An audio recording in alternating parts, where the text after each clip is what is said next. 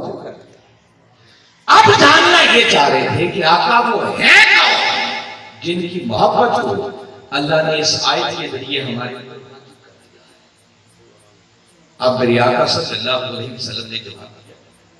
चाहिए तो ये था कि अगर उन्होंने नतीजा गलत अखज किया तो मेरे आका पहले तो उसकी इसलाह फरमाते कि ये वजूद कहाँ से निकला? आका ने इस पर तो कोई कमेंट ही नहीं की, कोई तबसरा ही नहीं किया कोई इस पर ज़िक्र नहीं किया। और आका का इस पर कोई तबसरा ना करना इस बात की दलील है कि आपने इस बात की तायद कर दी कि हाँ पहली बात जो तुमने अखज की है वो दुरुस्त है। ये जो तुमने समझा है ना कि कुछ लोगों की मोहब्बत तुम्हारे ऊपर वाजिब हो गई फरमाया यहाँ तक तुम दुरुस्त अगर उनका ये नतीजा गलत होता तो मेरे आका पहले इस बात इस पर ने कुछ नहीं फरमाया हाँ फरमाया अब तुम जानना चाहते हो कि वो लोग हैं कौन? जिनकी मोहब्बत को अल्लाह ने तुम्हारे ऊपर वाजिब कर दिया है तो फरमाया वो कौन? फरमाया अली व फातिमा वबना होगा फरमाया उन हस्तियों से मुराद अली, फातिमा, हसन और हुसैन। आका ने चार हस्तियों का नाम लेकर अब दोबारा जरा इसी आयत करीमा की तरफ़ आ जाए, मैं फिर इसका मजमून समझाना चाहता हूँ। मैं चाहता हूँ कि आज ये पैगाम इस तरह आपके मन में उतारूं कि अब दुनिया इधर से उधर हो जाए, मगर आपको इस नुकते पर कम अज कम कोई तजल्जुल का शिकार इसलिए आपकी बड़ी यकसुई, बड़ी तवज्जो, बड़ा इन्हमाक और मैंने इसीलिए पैसे देने वालों को मना कर दिया कि जब एक एक बच्चा भी आगे फेंकेगा, बड़े भी खड़े हो जाएँगे, पैसे फेंकेंगे तो आप सबकी तवज्जो बढ़ और जो बात मैं आपको सुनाना चाहता हूँ, वो बात आपके साथ सुनी।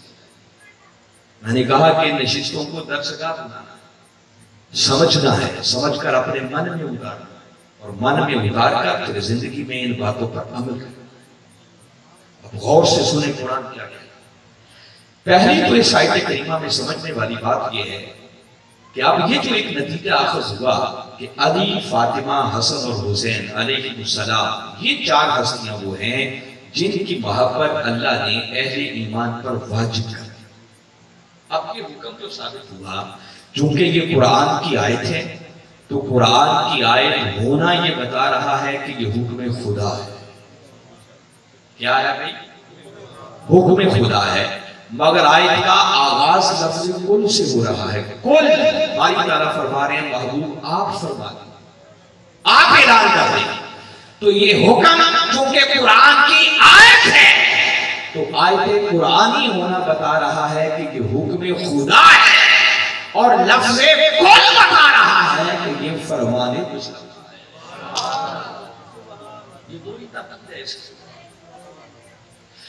फिर उसके बाद अगली बात इससे भी ज़्यादा बारी ताला आगे फरमा ये रहे हैं कि महबूब जरा अपनी मीठी मीठी ज़ुबान से ऐलान कर दो। कि लोगों, मैंने जो कुछ तुम्हें दिया।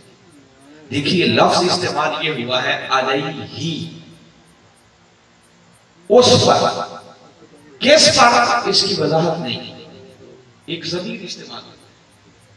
जिस पर उलमा ने लिखा है कि इससे मुराद ये है मुफसरी ने जो बात लिखी है कि कमली वाले आका सल्लल्लाहु अलैहि वसल्लम ने जो तबलीग रिसालत का फरीजा अंजाम जिसके नतीजे में हमें ईमान मिला इस्लाम मिला कुरान मिला पूरा दीन फरमाया, महबूब ने बता दो कि ये जो मैंने तबलीग रिसालत का फरीजा अंजाम किया है, जिसके लिए मैंने इतनी तकलीफें उठाई, लोगों ने मेरे रास्ते में कांटे बिछाए, पत्थर मारे, गालियाँ दी, बुरा भला कहा, जिसमें दहन हुआ। जंगें हुई दंदान मुबारक शहीद हुए, रुखसार मुबारक जख्मी हुए। और फरमाया ये सबको छोड़ने के बाद फिर तुम्हें किसी ईमान की नवाजा है, फरमाया, इस पर तुमसे किसी अजर का कोई सवाल नहीं ये बड़ी काबिल और अगर थोड़ा इसको और आसान करके बताऊँ तो आप यूँ समझें कि बारी ताला फरमा रहे महबूब ने बता दो कि मैंने जो कुछ तुम्हें दिया। और रसूल क्या कुछ देता है? हक बात यह है कि ये गिनती में आने वाला नहीं है। अगर सादा एक जुमले में कहना चाहूँ तो बस यूँ समझें कि रसूल सब कुछ ही देता है। क्या? जब से कायनात का आगाज़ हुआ है, तब से लेकर आज तक, और आज से लेकर क्यामत और फिर क्यामत के बाद जिसको जो कुछ मिला, जो मिल रहा है, और जो मिलेगा, वो मिलता ही मुस्तफ़ा के कदमों का सदका है। तो रसूल सब कुछ देता है।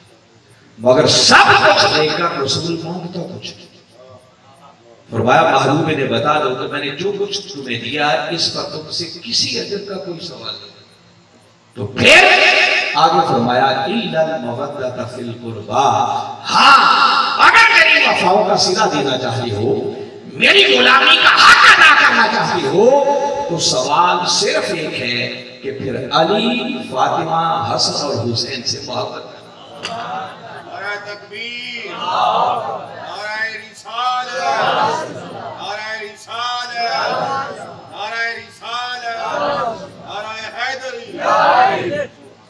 जरा ठंडे दिल से सोचे कि रसूल सब कुछ देकर माँगता कुछ नहीं है। बस एक ही चीज़ का तकाजा है कि बस अली, फातिमा, हसन और हुसैन से मोहब्बत कर मुझे बताइए, जिस रसूल ने सब कुछ दिया है, उसके बदले वो जिस चीज़ का तकाजा करे, कोई कलेमा पढ़ने वाला इनकार करने की गुंजाइश का ज़रूरत कर सकता है? कोई गुंजाइश निकलती है कि कोई इनकार करे? ये वजह थी कि सहाबाई के नाम ने समझा कि इन हस्तियों की मोहब्बत हमारे ऊपर वाजिब हो। फिर सुने इसी आयत करीमा को दोबारा सुने आयत करीमा का एक अंदाज है बारी ताला ने यही बात करनी थी तो सादा लफ्जों में फरमा दिया जाता कि अली फातिमा हसन और हुसैन की मोहब्बत तुम्हारे ऊपर वाजिब अल्लाह ने ये बात पहले नफी है महबूबे ने बता दो कि मैंने जो कुछ तुम्हें दिया उस पर तुमसे किसी अदर का कोई सवाल नहीं पहले नफी फिर कहने की मोहब्बत चाहिए उनका इस बात ये पुराने पाप का एक उसलूब है।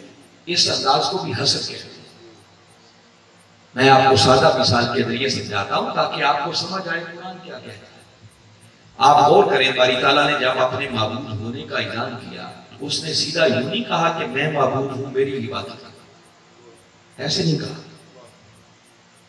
बल्कि अपने जब उसने मबूद होने का ऐलान किया ना तो पहले नफी की। फरमाया, ला इला इला कहते हैं मबूद शुरू में ला नाफिया फरमाया, ला इला कोई मबूद नहीं। इबादत के लायक है ही कोई नहीं। जब हर मबूद इबादत की नफी हो गई तो फिर कहा, इल्लल्लाह हाँ अगर कोई है तो सिर्फ़ अल्लाह फ़र्क है ना दोनों अंदाज।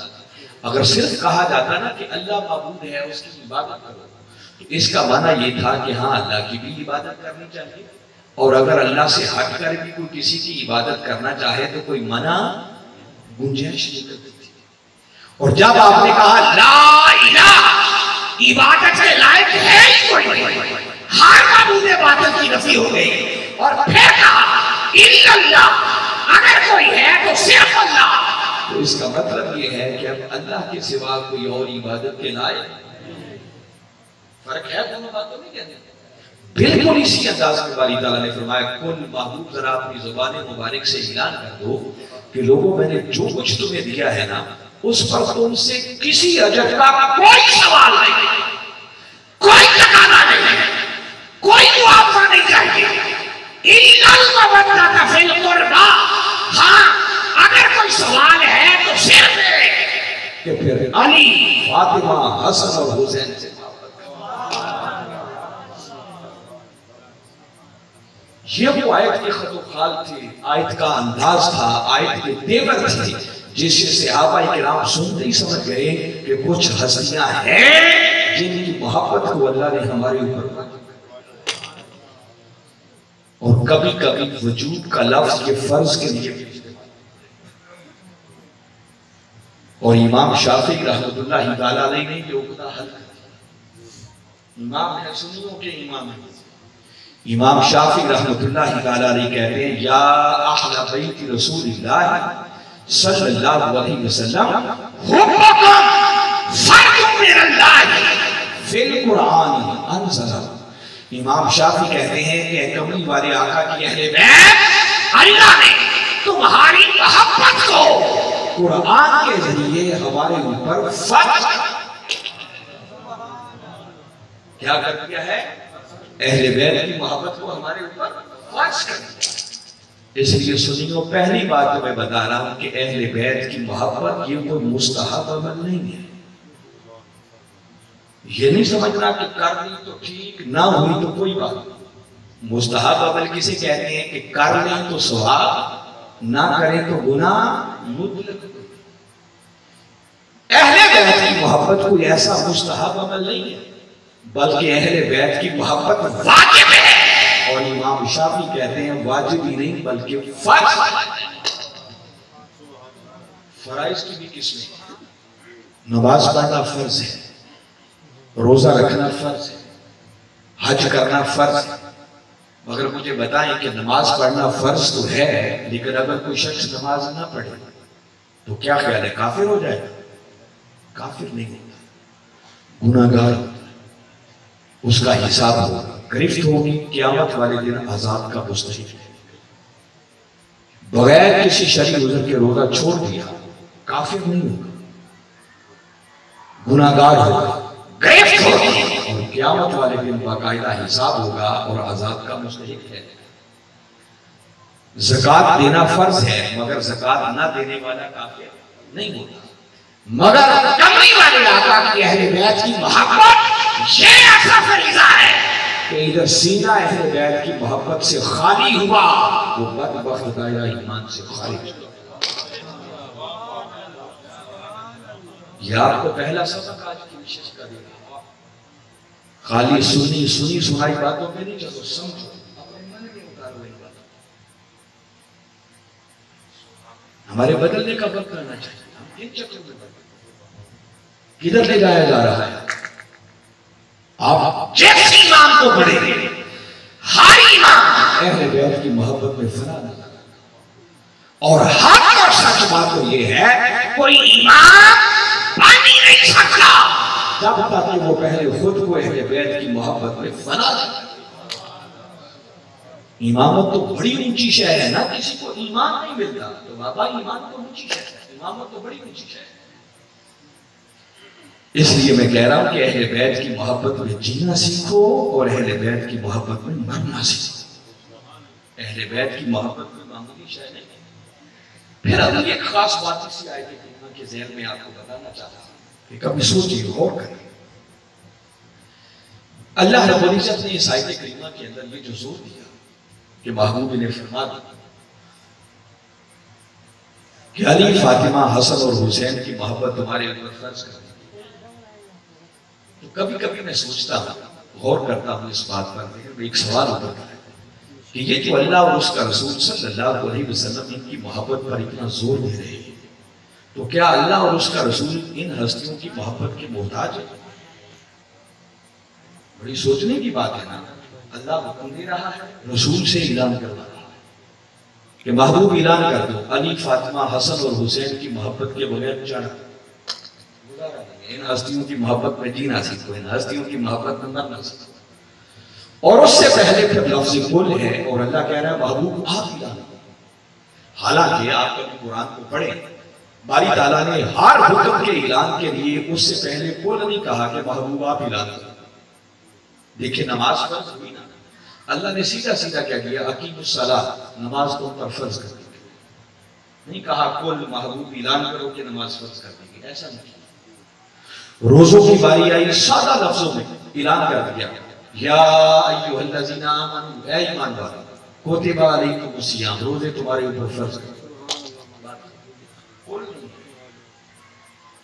की बारी आई, सीधा कहा, वह तो ज़कात ज़कात मगर लफ्ज कुल हर हुक्म से पहले लफ्ज कुल नहीं मिले मगर यहाँ पर बारी ताला ने कुल फरमाया और उस कुल को हमेशा क्यामत तक के लिए कुरान का हिस्सा बना। बारी ताला, इसकी ज़रूरत क्या है? फरमाया, ज़रूरत ये थी कि चूँकि इस आयत में तकाजा अली, फातिमा, हसन और हुसैन अलैहिस्सलाम की मोहब्बत का तो कोई मन चला यूँ भी सोच सकता था कि भाई ये क्या बात हुई कि ताजदार कायनात सल्लल्लाहु अलैहि वसल्लम तशरीफ़ लाए तबलीग रिसालत का फरीजा अंजाम हमें उनके वसीले से ठीक है ईमान भी मिला इस्लाम भी मिला कुरान भी मिला दुनिया की हर निमत मुयसर मगर ये क्या बात है? कि सब कुछ देकर उसके बदले में मोहब्बत सिर्फ़ चार हस्तियों की और वो भी एक बेटी है दो नवासे हैं और एक दामाद है। सिर्फ़ घर की मोहब्बत कोई मन चला क्यों भी सोच सकता था? बारी दादा ने इस बातिल ख्याल के पैदा होने से भी पहले इसकी जड़ी काट दी। और लफ्ज कुल को कुरान का हिस्सा बना दिया। ताकि हर मानने वाले समझ आ जाए कि इन हस्तियों की मोहब्बत का ठिकाना सिर्फ़ रसूल नहीं कर रहा। बल्कि खुदा रसूल से इनकी मोहब्बत का तकाजा करवा ताकि इतराज रसूल पर ना आए इतराज आए तो खुदा इनकी मोहब्बत का तकाजा मगर फिर मैं दूसरी तरफ़ आपको मुतवजह करना चाह रहा सोचने की बात यह है कि ये जो अल्लाह इनकी मोहब्बत पर इतना ज़ोर दे रहा है, रसूल इनकी मोहब्बत पर इतना ज़ोर दे रहा है तो क्या अल्लाह और उसका रसूल इनकी मोहब्बत में कोई मोहताज है? ऐसा तो सोचा तो नहीं भले से कोई इन हस्तियों से मोहब्बत ना करे और मोहब्बत भी चलो छोड़े, कोई इनके बुग्ज में खुद को मिटा दे। सारी ज़िंदगी बुग्ज में गुजार दे। तो क्या ख्याल है? अल्लाह की शान में कोई फ़र्क पड़ जाएगा रब्बी बराबर भी अल्लाह की शान में फ़र्क माज अल्लाह इन हस्तियों से बुग्ज करने की वजह से कोई रसूल की शान में फ़र्क पड़ेगा? जी। कबरी वाले आका की शान खुदा ऐलान कर रहा है बनल खैरुल्लाह का मिनल महबूब तेरी आने वाली ज़िंदगी का हर लम्हा वो तो पहले से भी बढ़ता है। तो रसूल भी इन हस्तियों की मोहब्बत का मोहताज नहीं है तो सवाल ये है कि ना अल्लाह मोहताज, ना रसूल मोहताज तो अल्लाह उसका रसूल इनकी मोहब्बत पर ज़ोर क्यों दे ये बड़ी काबिल तवज्जो कुरान में जितने अहकाम आए हैं, अल्लाह ने हुक्म दिया नमाज़ का। जक़ात दिया करो, रोज़े रखो, हज तो पर फ़र्ज़ कर दिया। तो क्या ख्याल है, अल्लाह हमारी नमाजों का मोहताज है? हम जक़ात ना दें तो उसकी शान में कोई फ़र्क पड़ जाएगा। वो पूरी कायनात में कोई भी हज ना करे तो क्या ख्याल है, अल्लाह की शान में कोई फ़र्क पड़ेगा? नहीं। जो जो हुक्म भी अल्लाह ने हमें दिया है ना ना अल्लाह उनका मोहताज है, ना रसूल अल्लाह और उसका रसूल जो हुक्म भी हमें देते हैं ना वो देते इसलिए हैं कि उसमें भला हमारा है। वो हमारा खालिक है, हमारा मालिक है, उसने हमें पैदा किया है। वो बेहतर जानता है कि हमारी कामयाबी का राज किन पर। हम किस तरह ज़िंदगी गुजारेंगे तो दुनिया में भी कामयाब होंगे और आखिरत में भी कामयाब होंगे। भला हमारा है, खुदा का उसमें बराबर भी कोई मफाद अल्लाह उसका रसूल इन हस्तियों की मोहब्बत पर ज़ोर इसलिए दे रहे हैं और महबूब को फरमा रहे हैं महबूब इन्हें बताओ कि नादानो मैंने ये जो इतनी मेहनत करके जिस ईमान की दौलत से सरफराज किया है और अब तुम्हारी कीमती तरीन मता तुम्हारा ईमान बन चुका है जिसकी खातर तुम जान तो दे सकते हो मगर अपने ईमान पर सौदा नहीं कर सकते। ईमान का सौदा नहीं हो सकता। फरमाया, इन हस्तियों की मोहब्बत पर ज़ोर इसलिए दे रहे हैं कि ये जिस ईमान की दौलत से तुम्हें नवाजा है, अब अगर इस ईमान को बचाना चाहते हो तो तुम्हारे ईमान की हिफाजत का राज अली, फातिमा, हसन और हुसैन की मोहब्बत इनसे मोहब्बत करोगे तो तुम्हारा ईमान बचेगा। और अगर खुदा ना करे सीना इनकी मोहब्बत से खाली हो गया तो करोड़ कल में पढ़ते करोड़ हज करते फिरना उम्र करते फिरना नमाजें पढ़ते रहना फरमाया वो तुम्हारी नमाजें हो सकती है। कभी ईमान नहीं बन सकती। वो तुम्हारे हज और उम्र सौदिया की सैर हो सकती है। कभी इबादत नहीं बन सकते। ये सारे अमल इबादत कब बनेंगे। जब सीने में पहले अली फातिमा हसन और हुसैन की मोहब्बत कोई बात पल्ले पड़ रही है? ये जहन से निकलेगी तो नहीं? इसलिए ज़िंदगी का अपना शेवा बना लो और इस बात को नोट कर लो अपने मन की तख्तियों पर कि अहले बैत की मोहब्बत शीयत नहीं। ये अहले ईमान है। ये को मुस्तहब अमल नहीं है। बाबा, ये ईमान का मसला है। अहले बैत की मोहब्बत है तो ईमान है। और अगर सीना अहले बैत की मोहब्बत से खाली है तो वो बदबख्त दायरा ईमान से खाली है। उसका ईमान से कोई ताल्लुक सुनाने को तो बहुत कुछ दिल चाहता है। मैं अगर सारी रात कदरा सा तालब इलम होने के नाते ये कह रहा कि जिस मर्द कलंदर के कदमों से निस्बत है ना, उस हस्ती ने पूरी दुनिया को इल्म की खैरात और मेरी ज़िंदगी का फख्र ये है कि मुझे उनके कदमों से निस्बत है। उनकी गुलामी का पत्ता करी करेंगे तकरीर करते हुए मवाद की कमी। अगर मैं चाहता हूँ एक मुनासिब वक्त तक रहते हुए आपको चंद बात। मैंने सिर्फ़ कुरान की एक आयत पर चंद बातें आपको सुना आयत भी पूरी नहीं, उसके भी चंद अल्फाज हैं। अब मैं चाहता हूँ इसके साथ सिर्फ़ एक हदीस कोई लंबी चौड़ी हदीस नहीं, वरना तो किताबें भरी पड़ी। इतनी हदीस सिर्फ़ एक हदीस मुबारक साथ मिला के, ताकि मजमून मजीद पक्का हो कभी ना असलम साहब कहते हैं, मैं थक गया। नहीं, थकना नहीं चाहिए। अहले बैत की मोहब्बत की बात हो तो थकावट उतर जानी चाहिए।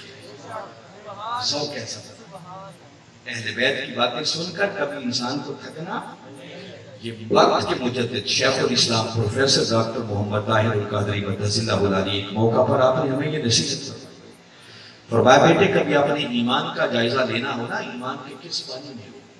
तो फरमाया कि मैं सादा सा नुस्खा दे रहा किसी ऐसी मजलिस में चले जाओ, जहाँ अहले बैत की अजमत की बात हो रही हो, फजीलत की बात हो रही हो। फरमाया, अगर अहले बैत की अजमत की बात सुनकर दिल घुटन महसूस करे, तंगी महसूस करे तो फरमाया, बेटे, समझ जाना ईमान में खराबी है। अपने ईमान की खैर मांगो। फरमाया, ईमान सलामत रहे कि अहले बैत की अजमत की बात आए, सुनकर दिल खुशी से बाग बाग हो तो देखो ना असलम साहब ने तो यहाँ से चलना है चीचा में जाके उन्हें अपने घर से। और मैंने उसे आगे भी सफ़र करना है। और सफ़र करके ही आया। मगर अहले बैत की मोहब्बत एक नशा है। मैं तो सिर्फ़ आपका लिहाज करते हुए बस मुख्तसर रखने की कोशिश कर रहा हूँ, वरना कम बेश घंटा तो हो चुका है। अब मैं इससे आगे सिर्फ़ मैं बता एक हदीस मुबारक सुनाना जा रहा हूँ। और ऐसी हदीस मुबारक कि जिस हदीस के बारे में कोई माई का लाल नहीं कह सकता कि ये जहीफ है। कोई इसका इनकार नहीं कर सकता, रद्द नहीं कर सकता। खुतबा हिज्जतुल विदा में भी मेरे आका ने फरमाया और गदीर खून के मौका पर भी मेरे आका ने मुख्तलिफ़ किताबों में थोड़ी थोड़ी तब्दीली के साथ। आका ने कई जगहों पर मजमून बयान किया होगा किसी जगह अल्फाज कुछ होंगे, किसी जगह थोड़ी और कह हालात और वाकयात के मुताबिक अल्फाज में थोड़ी थोड़ी तब्दीली। मेरे आका सल्लल्लाहु अलैहि वसल्लम गदीर खून का मौका है, हज़ार हा सहाबा का और मेरे आका ने उस गदीर खून के मौका पर आकर हज से वापस आ गए और वापसी पर जब उस मुकाम पर पहुँचे तो सहाबाई के नाम से फरमाया स्टेज बना इस पर मेंबर लगा और फिर उस पर गलवा हालाँकि आका ने हर मौका पर कोई बात बयान करने के लिए इस तरह एहतमाम ऐसे मगर ने वहाँ एहतमाम किया, खुतबा लगा है। मगर मैं तो सिर्फ़ एक उसमें से हिस्सा लेके आऊँ। उस हज़ार हा से आबाई के राम के मजमे से मुखातिब होकर मेरे आका ने फरमाया, इन्नी तारिकुन फ़ी को गुस्सा कर फरमाया मेरे से आदमियों सुन लो, मैं तुम्हारे अंदर दो भारी चीज़ों को छोड़ के जा रहा मा तमस्सक तुम बिहिमा फरमाया, जब तक दोनों का दामन थामे रहोगे, याद रखो, तुम कभी गुमराह नहीं हो सकते। आका को दो चीज़ें क्या है? फरमाया, एक अल्लाह की किताब कुरान है, और दूसरी मेरी इतरत और बैत मैं अल्फाज मुख्तलिफ़ थोड़े थोड़े और मजमून आगे बहुत सारा है। मैं इंशाल्लाह कोशिश करूँगा कि आपको बड़ा आसान करके इस रिवायत में तो मैंने कहा ना, आपने फरमाया सफ़ा नहीं, दो भारी चीज़ों को छोड़ एक मकाम पर फरमाया, खलीफा दो खलीफे छोड़ के जाना एक जगह पर फरमाया शयई दो चीज़ें छोड़ के जा रहा एक जगह फरमाया अमरई दो अमर छोड़ के जा लफ्ज जो भी इस्तेमाल होगा, मगर जो दो चीज़ें छोड़ी हैं, एक कुरान है और दूसरी कमली वाले आका की अहले बैत और दोनों को बयान करने के लिए मेरे आका सल्लल्लाहु अलैहि वसल्लम ने लफ्ज एक जैसा इस्तेमाल वो सकलैन है खा वो नहीं है खा वो शैन है खा वो अमरैन। और ऐसा अंदाज तब इस्तेमाल किया जाता है जब दो हम मनसब हम मिजाज एक जैसी चीज़ें इकट्ठी हो जाए ना, और उन दोनों का इकट्ठा ज़िक्र करना मकसूद हो तो एक के एंड पर या नून का इजाफा कर दें तो दोनों उसमें जमा हो जाए मैं आसान करके बताता हूँ ताकि आपको समझ आए। देखिए सिब तुल सिब कहते हैं नवासे। और अगर नवासे दो हो जाए तो क्या कहेंगे? वो सिब तुन के आखिर में आपने यार नून लगा दी तो बन गया सिब इसका माना होगा दो नवासे। बेटी के दोनों बेटे हैं। एक ही दामाद के बेटे हैं। एक जैसे हैं रिश्ता एक है। उनका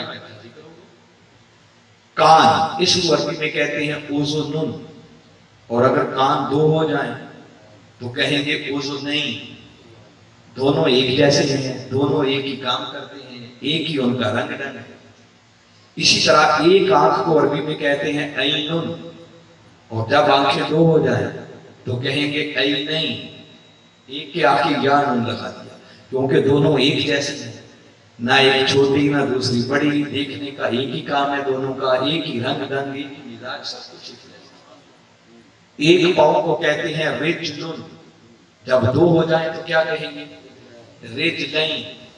दोनों पाओ चलने का काम देते जैसे हैं एक जैसी शक्ल और सूरत है, एक रंग ढंग है एक ही उनका मकसद है।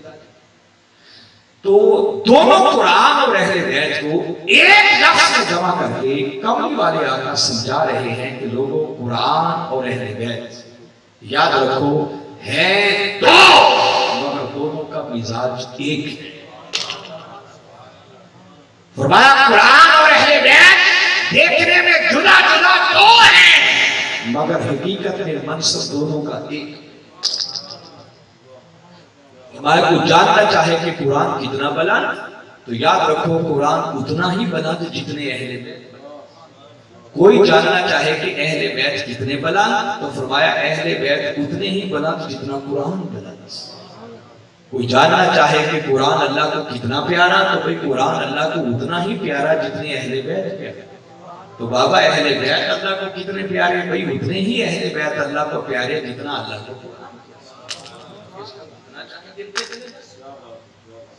और अगर कोई कहे कि मैंने ऐसे लफ्जों से खेल कर तो बात बता दी, नहीं, मेरे आका ने इस बाह को मजीद दूर कर इसी मजमून की हदीस मुबारक में आका ने जब फरमाया ना, एक अल्लाह की किताब कुरान और दूसरी मेरी अहले बैत है, ये ज़िक्र करने से पहले आका ने एक और जुमला इस्तेमाल फरमाया, वो नाम बाद में बताता हूँ, मगर एक बात पहले सुन लो। मिनल आखर। एक जगह फरमाया अकबरु मिनल आखर। नहीं फरमाया, अव्वलुहुमा, कि दोनों में से पहली, दूसरी से बढ़कर है। यूँ नहीं कहा? फरमाया आहदुहुमा फरमाया, जो दो चीज़ें तुम्हारे अंदर छोड़ के जा रहा हूँ, याद रखो, इन दोनों में से हर वो दूसरी से बढ़कर खबरदार। दूसरी से कम हल्का ना समझना। भाई, कुरान अहले बैत से है। और कमली वाले आका की अहले बैत वो कुरान से मैं किसी को हल्का नहीं जाना। आका ने और मैं दोनों हम हम है। एक जैसी चीज़ें आपको छोड़ के जा रहा अच्छा आका समझ आ गई। छोड़ के क्यों जा रहे हैं? आप जुमला काम फरमाया छोड़ के इसलिए जा रहा हूँ।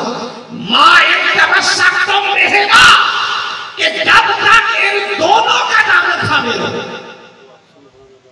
हे माँ फिर ज़मीन में दोनों को इकट्ठा जमा एक अलग मजमून है कि कुरान और हदीस की रोशनी में यही समझाऊं कि एक जैसी ज़मीन में चीज़ों को इकट्ठा कब किया जाता है इससे भी वही फलसफा फरमाया, जब तक दोनों का नाम थामे रहो तुम कभी गुमराह नहीं हो सकते नहीं फरमाया, ला तदिलु ला तदिलु का वादा है गुमराह नहीं और ला तदिलु इसमें नफी की ताकीद है। फरमाया, दुनिया इधर से उधर हो सकती है, मगर अगर एक हाथ में दामन कुरान हो, दूसरे हाथ में दामन अहले बैत हो, फरमाया, दुनिया इधर से उधर हो सकती है। तुम हर केस हर केस गुमराह नहीं हो और कब तक गुमराह नहीं हो सकोगे, जब तक दोनों का अगर दोनों में से किसी एक का दाम छूट गया तो फरमाया तुम्हारी हिदायत की राह पर गामजन रहने की कोई जमानत और गारंटी कुरान का दामन छूट गया, तब भी तुम्हें गुमराही से बचा कोई नहीं सकता। और अगर अहले बैत का दामन छूट गया तो फरमाया करोड़ नमाजें पढ़ना कल में पढ़ना, हज उम्रे करना, याद रखो तुम्हें गुमराही से बचा। तो आका ने इस इरशाद के ज़रिए मजीद इस बात पर मोहर तस्दीक सब कर दी कि ईमान सलामत जब तक है। इंसान की हिदायत की राह पर रहने की जमानत और गारंटी उस वक्त तक है जब तक एक हाथ में दामने कुरान हो और दूसरे हाथ में दामने दोनों में से एक का दामन भी छूट गया तो इंसान हिदायत की राह पर काम कर फिर आका ने फरमाया कि ये जो किताब है, कुरान है फरमाया फीहिल हुदा नूर इसमें हिदायत है, नूर है। फरमाया इसको मजबूती से पकड़। ज़ोर दिया इस पर तरकीब दी उभारा और फिर जब अहले बैत की बारी आई तो एक रिवायत में आका ने तीन बार ये कलिमात इस्तेमाल की। फरमाया अहली बैती उज़क्किरुकुमुल्लाह फ़ी अहली बैती। उज़क्किरुकुमुल्लाह फ़ी अहली बैती।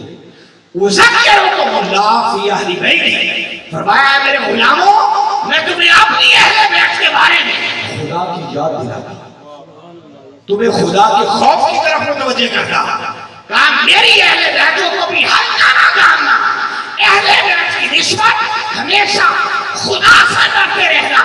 कि कहीं एक की निस्बत तुम्हारे दिलों में कोई बात न हमेशा खुदा को याद रखना, खुदा के खौफ को याद रखना, खुदा से डरते रहना, ये तीन बार कले बात मेरे आका ने फरमा कर ये बता दिया कि मेरी अहले बैत। इसलिए सुनियों में आप लोगों को बता रहा हूँ कि अहले बैत की मोहब्बत में जीना सीखो और अहले बैत की मोहब्बत में मरना सीखो। ईमान मिलता भी अहले बैत की मोहब्बत के सिले पे है। और मिला हुआ ईमान वो बचता भी अहले बैत की मोहब्बत के सदके से। आपने कभी अपने अकाबरीन को नहीं आप अपने बड़ों को देखिए कौन सा आपका बड़ा है जो अहले बैत की मोहब्बत में फना नज़र नहीं आएगा? मैं तो सादा कह रहा हूँ कि कोई बड़ा बड़ा ही नहीं सकता। जब तक कि वो खुद को पहले अहले बैत के तर का गुलाम नहीं ये बड़ाइयाँ मिलती है अहले बैत के कदमों की सदके से। मैं अब इसकी तफसील में नहीं जाता, सिर्फ़ हकीम अलामा इकबाल वो आपके बड़े जिनको इस उम्मत का हकीम का दवाइयाँ देने वाला हकीम नहीं उम्मत की असल मर्ज की तशखीस करके इस उम्मत को राय हिदायत कर उनसे पूछो, अहले बैत की मोहब्बत क्या है? अहले बैत की शान क्या है? दामन वक्त में इतनी गुंजाइश नहीं वरना इकबाल की शायरी अहले बैत की मोहब्बत से भरी हुई वो सैयदाई कायनात की शान बयान करते हुए कहते हैं, मरियम आज यक निस्बत ईसा हद कर दिया एक बार में बात समझ कहते हैं, मरियम, उनको तो जो इज़्ज़त मिली है ना असमत मिली है, वकार मिला है, सिर्फ़ एक निस्बत की वजह से कि हज़रत ईसा इस्लाम मरियम बाज यक निस्बत ईसा ईसा इस्लाम की एक नस्बत की वजह से कि उनकी माँ है, वो जमाने में मोहतरम है। और आगे कहते हैं, आज से हज़रत और सैयदा कायनात, आपको तो मरियम से भी बढ़कर तीन ऐसी निस्बतें मुनसर है कि जिनको सामने रखे तो आपकी इज़्ज़त और अजमत का कहते हैं, पहली निस्बत आपको ये मुजस्सर नूरे, चश्मे रहमतुल आलमीन आ ईमान अव्वलीनो ऐसे हिदाय कायनात आपको पहली निस्बत ये मुजस्सर है कि आपको जो सारे जहानों के लिए रहमत बनकर आए हैं, उनकी आँखों का नूर बनने का नूरे, चश्मे रहमतुल्ले आलम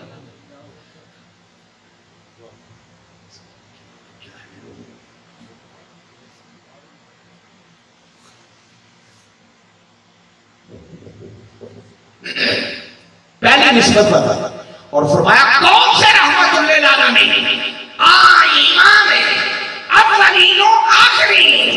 वो रहमतुल्लिल जो सारे अव्वलीन के भी इमाम हैं और सारे आखिरीन के भी इमाम उनकी नख्ते ज़िक्र होने का शर्त फिर कहती है ताजदारे मुर्तजा। मुश्किल कुशा शेर खुदा। इकबाल से अकीदा सीखो, इकबाल से इकबाल ने एक लफ्ज इस्तेमाल किया है, मुश्किल कुशा। अकीदा सीखना है तो इकबाल से इकबाल कहता है, सैयदा कायनात, दूसरी निस्बत में ये मुजस्सर है कि उस हस्ती की जौजा होने का शर्फ मिला, जो ताजदारे अल अदा है हल अदा का सूरा जिनके सर का ताज हल अदा से मुराद क्या है? कुरान पाक की एक सूरत है जिसका आगाज़ हल अदा से होता है। जिसको सूरह दहर कहते हैं, उसको सूरह इंसान की कहते हैं। आगाज़ उसका होता है हल अदा अलल इंसान।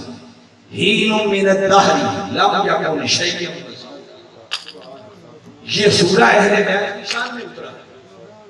मौला कायनात सैयदा कायनात हसनैन करीम की शान में उतरा।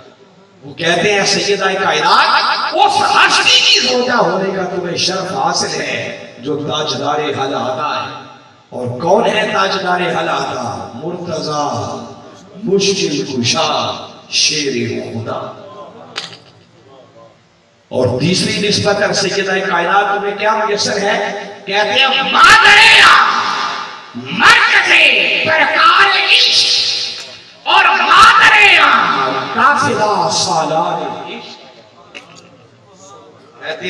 कायनात, तीसरी निस्बत में ये मुयसर है कि उस हस्ती की माँ होने का शर्फ मिला। जो उस, वो जो वो हस्ती है कि जो इश्क के, जो काफिला इश्क है ना, उस इश्क की दुनिया का मर्कज होता है। मरकजे प्रकार इश्क। प्रकार देखिए कभी। वो ज्योमेट्री बॉक्स में होती थी ना दो टांगों वाली एक सिरा लगा के उसको घुमाते थे तो दायरा बन जाता था। और जो सिरा उसका साके बैठा था उसको दायरे का मरकज कहते फरमाया ये जो इश्क की दुनिया है ना इस इश्क की दुनिया का मरकज और महवर है हुसैन। और सैयदा कायनात तुझे ये शख्स मिला। इश्क की दुनिया के मरकज और महवर हुसैन की माँ होने का शख्स और काफिला सालार। इश्क और इश्क के काफिला सालार हुसैन की माँ होने की वजह से ये इकबाल बयान कर रहे हैं। और इकबाल ने तो हद कर दिया मैं सिर्फ़ चार मिसरे सुना के कभी अपने बड़ों को पढ़े इकबाल कहता है रिश्ता आईन हक जंजीर पास पासे फरमाने जनाबे मुस्तफ़ा। वरना गिरते तुरबतश गर्दी में। सजदा बरखा के पाशी। हद कर दिया ने अहले बैत से अपनी निस्बत गुलामी में। गौर से सुने, जो अनपढ़ बंदा है, वो भी समझ के जाएगा इकबाल ने आईने हक आईने हक से मुराद है दीन इस्लाम इकबाल कहता है रिश्ता आईन हक। वो कहते हैं कि जो दीन हक का मैंने कलमा पढ़ लिया, इस्लाम को कबूल कर लिया, इससे मेरा रिश्ता बन गया, ताल्लुक हो गया वो कहते हैं, इस दीन इस्लाम का ये रिश्ता, जंजीर पास, ये मेरे पाँव की जंजीर बन गया रसूल इकबाल ने किस मंदी पे जाके बात कहते हैं, लोगों, ये जो मैंने कलमा पढ़ लिया ना, दीन इस्लाम कबूल कर लिया है, ये दीन इस्लाम का रिश्ता मेरे पाँव की जंजीर बन गया है। पासे फरमाने जनाबे मुस्तफ़ा, मुझे कमली वाले आका सल्लल्लाहु अलैहि वसल्लम के फरामीन का पास है, अदब है, हया। उनकी नाफरमानी नहीं कर सकता। कहता है ये दो चीज़ें मेरे रास्ते की रुकावट और सैयदा कायनात से मुखातिब होकर आगे कहते हैं, वरना कहते हैं कायनात अगर ये दो चीज़ें मेरे रिश्ते की रुकावट ना बनती कि इस्लाम का रिश्ता मेरे पाओ की जंजीर ना बनता कमरी वाले आपा के फरामीन का मुझे हया ना होता अदब ना होता तो ऐसे कायनात, आपका मकाम मरतबा, आपकी असमत को ये तकाजा करती थी कि इकबाल आपके मजार के गिर्द तवाफ कर। वरना गिरदे तुरबतश, गिर्द तुरबतश, तुरबत कहते हैं कबर को, मजार तुरबतश है सैयद कायनात, आपका मजार। गर्दीद मी मैं उसके गिर्द कहते हैं सैयद कायनात मुझे इस्लाम इसकी इजाज़त नहीं देते। कमली वाले आका के फरामीन इसकी इजाज़त नहीं देते। तवाफ सिर्फ़ अल्लाह के घर काबा का हो सकता है।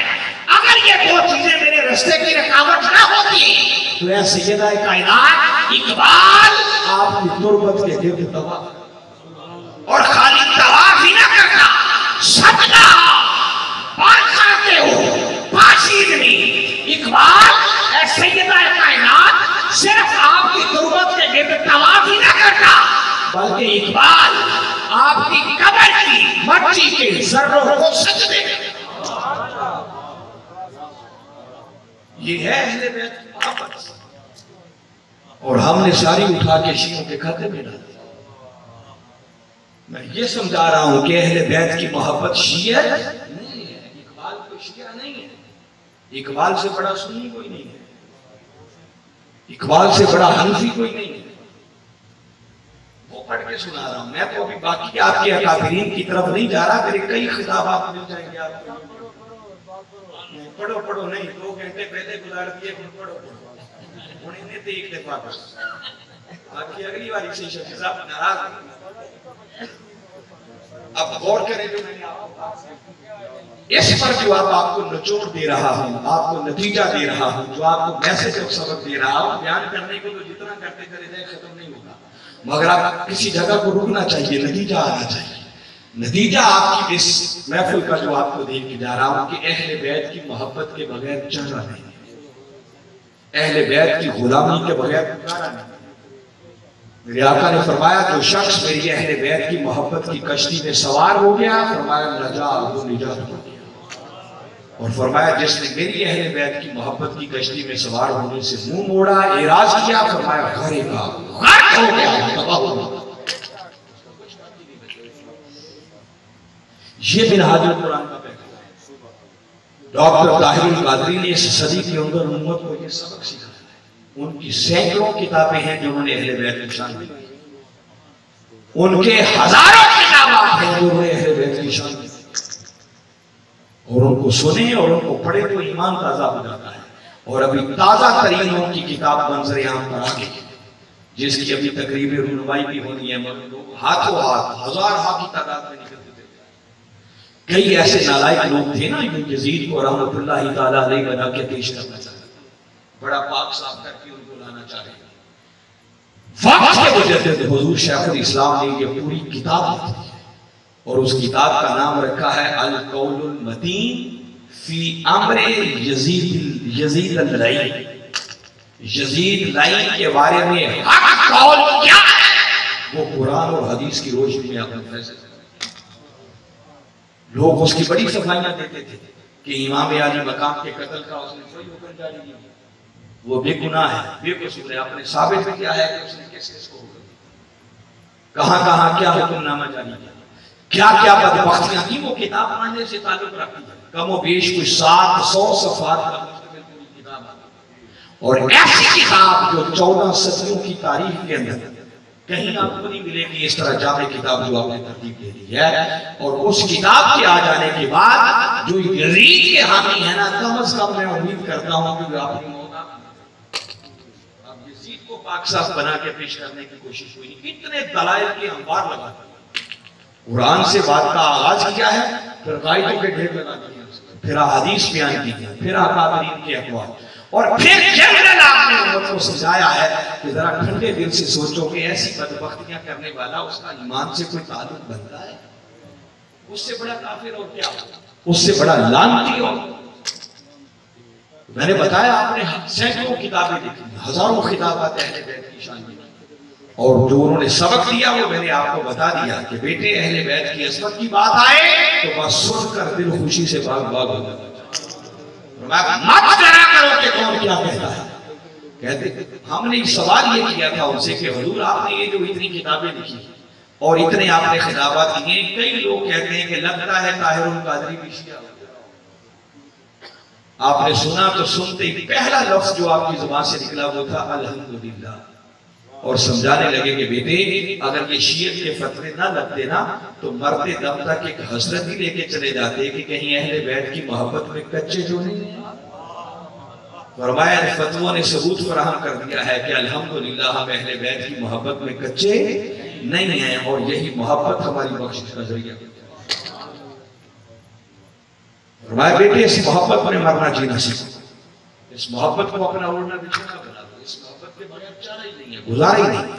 जिस बदबख्त के दिल में अहले बैत की मोहब्बत नहीं है ना वो जन्नत की खुशबू को भी नहीं पा सकती हवा को भी नहीं पा सकती मेरे आका ने फरमाया अल हसन वल हुसैन सैयदा शबाब अहले जन्नत। हसन और हुसैन जन्नत के जवानों के सरदार ये बात तो आप सुनते रहते हैं मगर इस बात के अंदर एक बात छुपी हजूर शाहुल इस्लाम फरमाते हैं जरा ठंडे दिल से सोचो, ये जो आका ने उनको जन्नत का सरदार बना तो सोचो सरदार जन्नत के हसनैन करीमैन मालिक जन्नत के वो हो तो क्या ऐसा बदबख्त जन्नत में जा सकेगा जिसके दिल में उनके बाबा का बुग्ज हो, उनकी अम्मा का बुग्ज हो?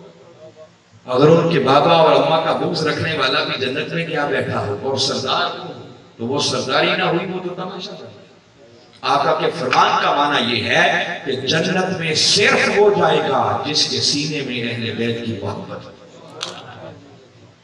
इस मोहब्बत के बगैर तो करीब फटक नहीं सकती। मगर आखिर जिस पर एंड कर रहा हूँ ताकि ये दर्शगार दर्शगार रहे। एक तो सबक ये दे दिया कि अहले बैत की मोहब्बत ईमान का मसला है। अब सवाल ये है कि क्या मोहब्बत सिर्फ़ ये है कि साल के बाद एक जलसा उनके नाम की एक देख ले ली न्याज दे दी, चावल बांट दी बस उनका ज़िक्र सुन के रो धो के घर चले जाए अहले बैत की मोहब्बत। की ही है अगर अहले बैत की मोहब्बत की बात सुनकर दिल खुशी से बाग बाग होता है ना, कि हुसैन ने कटे हुए सर के साथ भी नेजे के लोग पर कुरान सुनाया, जिसको कोई शख्स चैलेंज नहीं कर सकता है तो बाबा कम अज कम कुछ तो सोचना चाहिए कि हम कैसे हुसैन ने जिन्हें कुरान पढ़ने भी नहीं आता खाली को नारे लगाने से तो हुसैनी नहीं बनता खाली को शेर सुनाने से तो हुसैनी नहीं बनता था।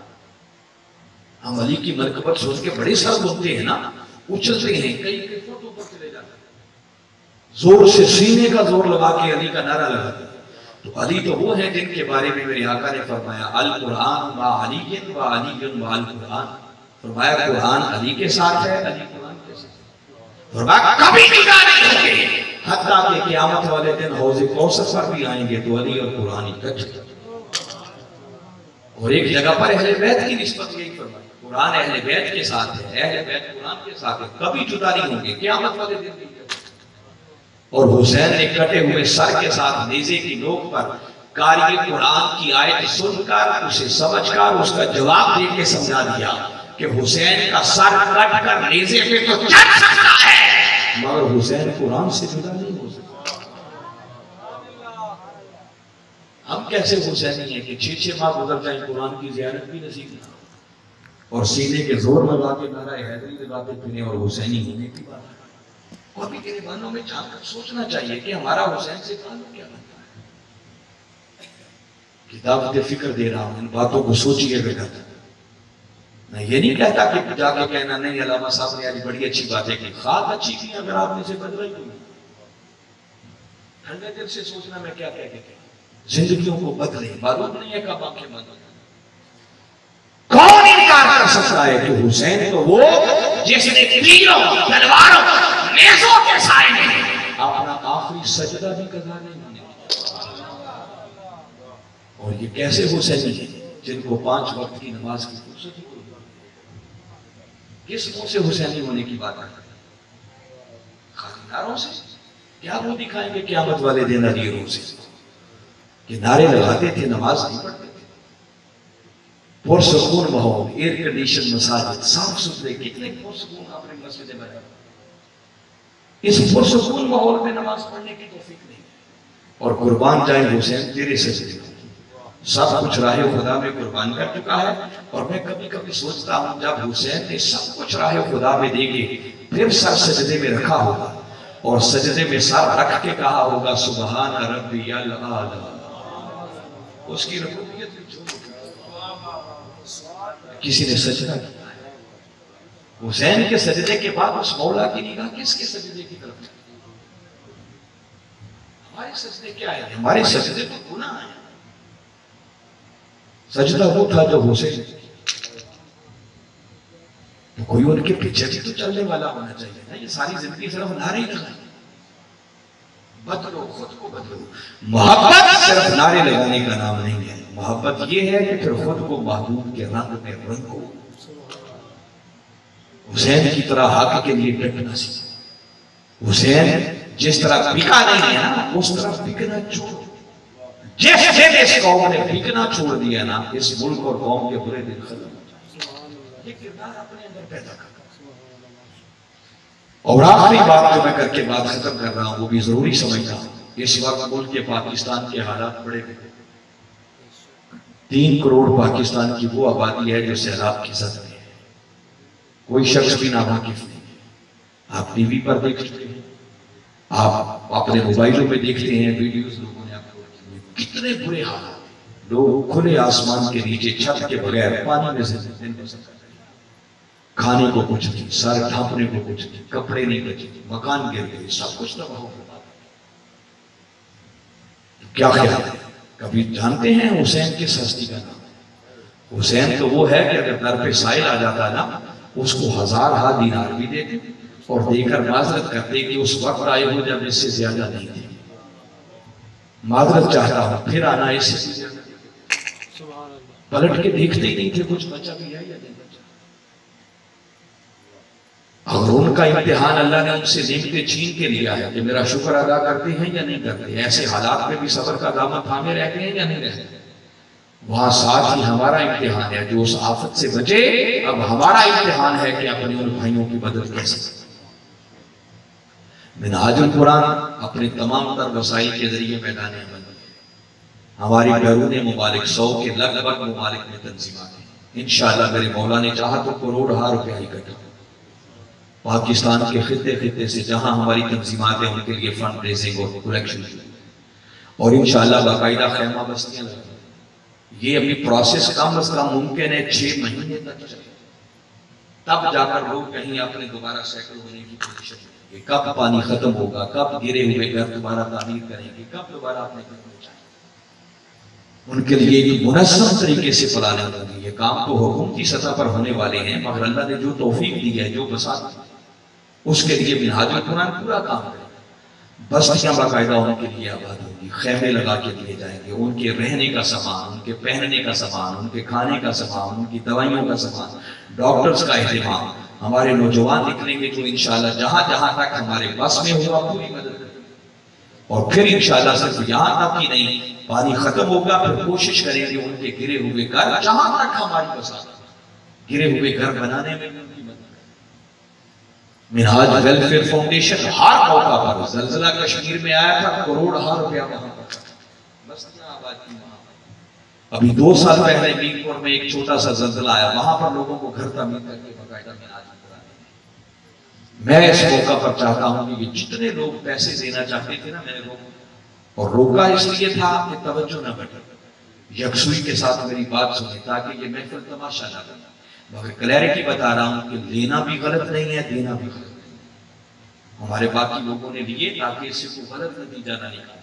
गलत तरीके से ना इसमें ना लेना ना जायज़ है, ना देना ना जायज़ मगर जब खिताब करने वाला या स्टेज पे पढ़ने वाला लेने की नीयत से ना वो रजा इलाही के लिए फिर दुनिया करोड़ों भी दे दे तो कोई हर्ज और देने वाला दिखावे की नीयत से ना शोभदाबाजी ना सिर्फ़ वीडियो बनाने के लिए ना खलूस दिल से दो वो करोड़ों भी दे दे तो आका के सना खान के लिए क्या है? आका के सना खान को देना खुद सुन्नत मुस्तफ़ा मैंने रोक दिया था, अब मैं आपको सिर्फ़ तीन मिनट दे रहा हूँ। ये सैलाब जदगान के लिए वो पैसे खर्च मैं चाहता हूँ कि हर शख्स अपनी बसात के मुताबिक इसमें हिस्सा डाले। हमने मरकज में अपनी अपनी जात से आगाज़ किया। हर शख्स ने अपनी तनख्वाह में से हिस्सा डाला और उनको कहा कि हमारी तनख्वाहों में से सीधा सीधा। इस पर हँसते तोफीक अपने उन गरीब भाइयों के लिए मदद करें और आपकी दी हुई ये एक एक पाई रायगा नहीं जाएगी, बिल्कुल हकीकी जगह पर ये सारा खर्च होगा। और मैं भी इससे महरूम नहीं रहूँगा। थोड़ा बहुत मेरे पास है, मैं भी हिस्सा डालता हूँ। माशा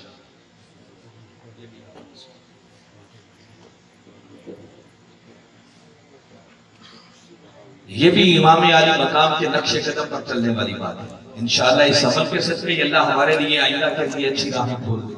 हमें नेकी की तरफ़ गामजन कर